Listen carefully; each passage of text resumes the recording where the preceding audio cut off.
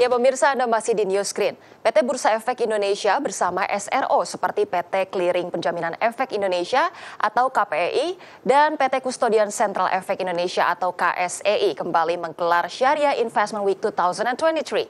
Ajang tahunan yang dilakukan secara hybrid ini guna meningkatkan literasi pasar modal syariah yang lebih luas dan juga inklusif.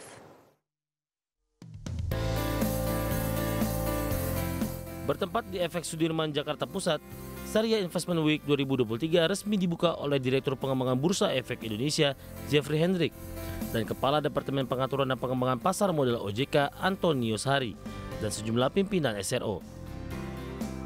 Direktur Pengembangan BI Jeffrey Hendrik mengungkapkan Syariah Investment Week 2023 merupakan langkah Bursa Efek Indonesia bersama SRO untuk mengembangkan pasar modal syariah agar dikenal masyarakat, khususnya anak muda.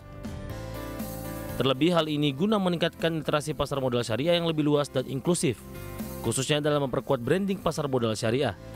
Dengan gelaran ini diharapkan pasar modal syariah dapat bertumbuh pada tahun ini.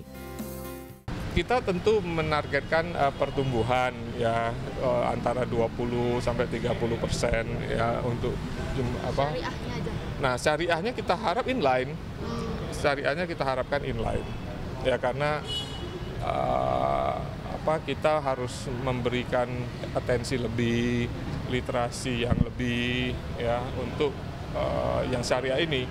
Karena kalau untuk yang konvensional kita mungkin fokus kepada pengenalan produknya.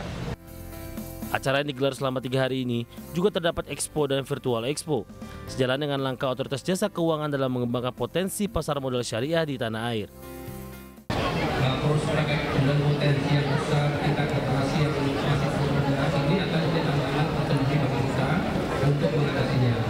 Nah, apa yang dilakukan oleh OJK terkait dengan hal ini?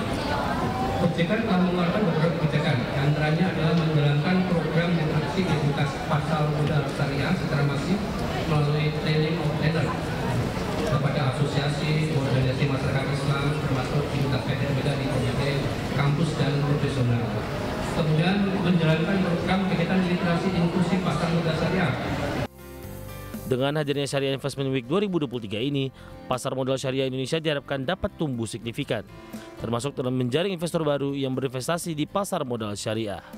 Dari Jakarta, Ade Firmansyah, Alex Channel.